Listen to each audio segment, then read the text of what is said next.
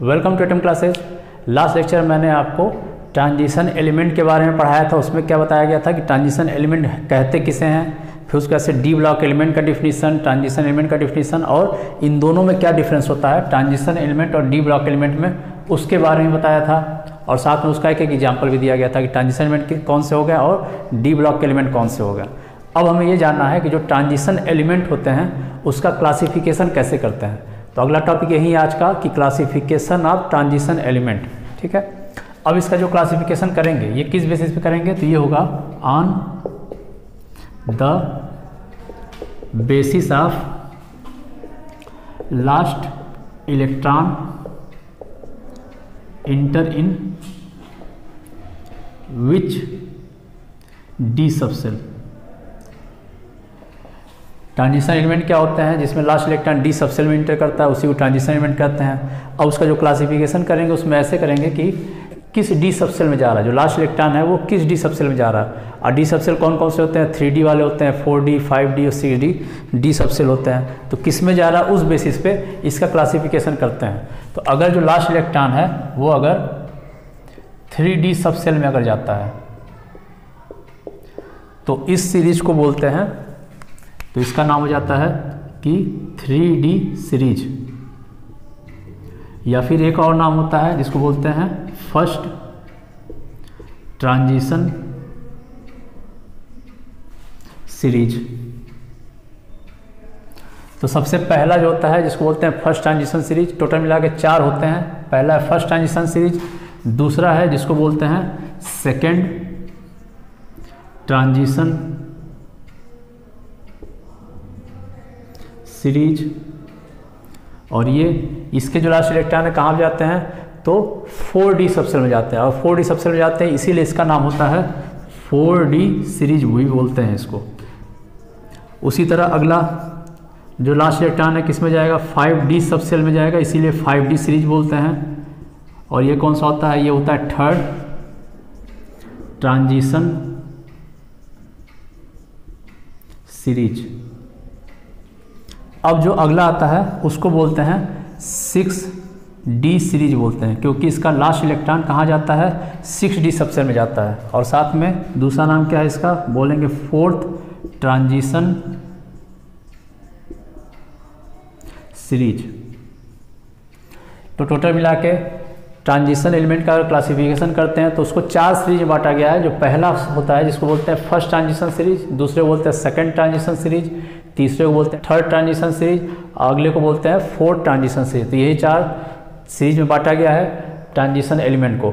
जो third transition series होता है उसको थ्री सीरीज़ बोलते हैं सेकेंड को फोर सीरीज़ बोलते हैं थर्ड ट्रांजिशन को फाइव बोलते हैं और फोर्थ ट्रांजिशन सीरीज़ को सिक्स सीरीज़ भी बोलते हैं। अब ये जो सारे सीरीज़ हैं, सभी में क्या होता है, दस दस एलिमेंट पाए जाते हैं। जैसे पहला फ़र्स्ट ट्रांजिशन सीरीज़ है तो इसमें टोटल नंबर ऑफ़ एलिमेंट कितने होंगे तो टेन एलिमेंट इसमें होंगे।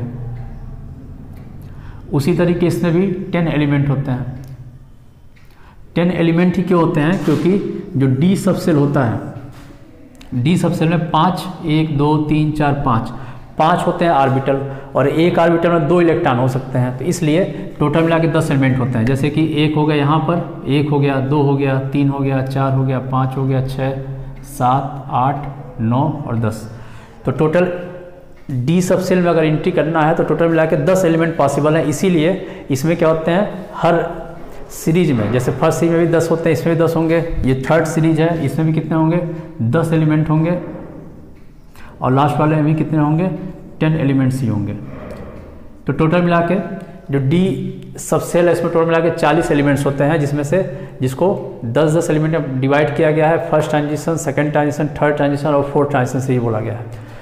अब इस टॉपिक से और यही वाला same classification of transition elements में ही अधिकतर क्वेश्चन पूछता है और ये क्वेश्चन दो नंबर का पूछ देता है कि क्लासिफिकेशन ऑफ़ ट्रांजिशन एलिमेंट क्या होता है, इसके बारे में बताना है। तो उसमें यही सारी चीज़ें लिखनी है कि चार सीरीज़ होते हैं first second third and fourth transition series first को बोलते हैं थ्री सीरीज़ बोलते हैं, इसको फोर सीरीज़ बोलते हैं थर्ड वाले को फाइव सीरीज़ बोलेंगे और फोर्थ ट्रांजिशन सीरीज़ को सिक्स सीरीज़ बोलते हैं। और ऐसा क्यों बोलते हैं? क्योंकि जो फ़र्स्ट ट्रांजिशन सीरीज़ होता है, इसमें जो लास्ट इलेक्ट्रॉन है, वो किसमें जाता है?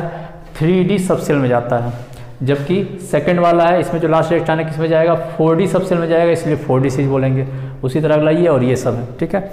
अब जो दस एलिमेंट्स होते हैं, वो कौन कौन से होते हैं, वो भी हमें जानना होता है, ठीक है? जो दस एलिमेंट्स होंगे इसमें कौन कौन से होंगे वो जानना है। तो जो थ्री सीरीज़ है, इसमें जो एलिमेंट्स होते हैं, वो होते हैं, इसको याद करने का तरीका क्या है? शक्तिवान करे मना, फिर कौन निकाले कुएँ से जान? ये ट्रिक है याद करने के लिए, याद करने के लिए। और ये ट्रिक भी आपको डिस्क्रिप्शन बॉक्स में आपको एक लिंक भेज देंगे। उस लिंक से आप क्या कर सकते हैं? इस पूरे का ट्रिक याद कर सकते हैं कि कैसे जो है पूरा जो है डी ब्लॉक एलिमेंट को हम याद करते हैं। डी ब्लॉक का भी है एस ब्लॉक का है पी ब्लॉक का है, पूरा प्रयोग टेबल का वहाँ पे ट्रिक बना हुआ है। तो वहाँ से आप इसका ट्रिक भी दोबारा देख सकते हैं कैसे याद करना है। तो पहले का ट्रिक भी क्या था कि शक्तिवान करे मना, फिर कौन निकाले, कुएँ से जान।